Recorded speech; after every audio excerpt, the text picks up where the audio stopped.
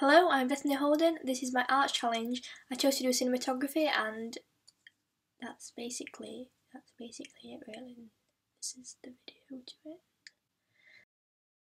Yeah. So yeah, this is basically a video that's shit. I think another reason to why I chose cinematography is because it's such such a large thing. About to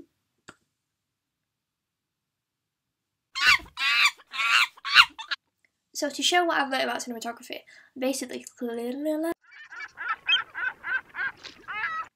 So to help you